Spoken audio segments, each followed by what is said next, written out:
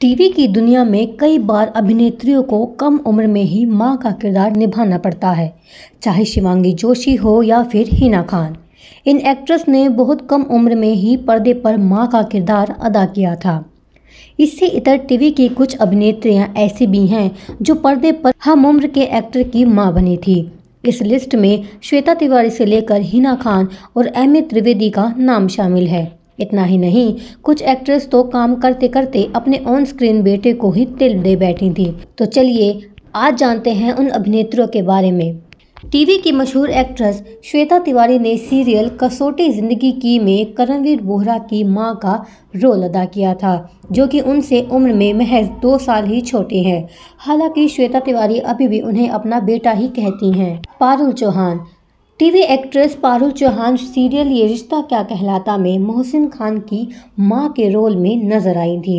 Actor उनसे केवल चार साल छोटे हैं। इस बात को लेकर एक्ट्रेस ने अपने इंटरव्यू में कहा था कि उस रोल को अदा करना उनके लिए थोड़ा अजीब है। एमी त्रिवेदी एमी त्रिवेदी इन दिनों ये रिश्ता क्या कहलाता में मंजरी का किरदार निभा रही हैं।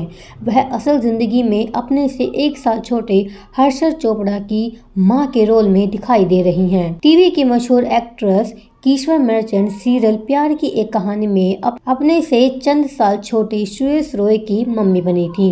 दोनों सेट पर ही एक दूसरे को दिल दे बैठे थे। शुभावी चौक से एक्ट्रेस शुभावी चौक से इन दिनों सीरियल बड़े अच्छे लगते हैं टू में नज़र आ रही हैं। सीरियल कसौटी ज़िंदगी की टू में वह पार्थ समथान की माँ बनी थी, जो उनसे केवल तीन साल ही छोटे हैं। हिना खान। हिना खान ने अपने अंदाज से लोगों का दिल जीतने में कोई कसर नहीं छोड़ी। हिना खान ने बेहद कम उम्र में मम्मी का किरदार निभाया। उन्होंने मात्र दो साल छोटे रोहन मेहरा की मम्मी की भूमिका अदा की थी। सीमा राठौड़ सीमा राठौड़ ने अपनी एक्टिंग से लोगों को हंसाने का कोई मौका नहीं छोड़ा है।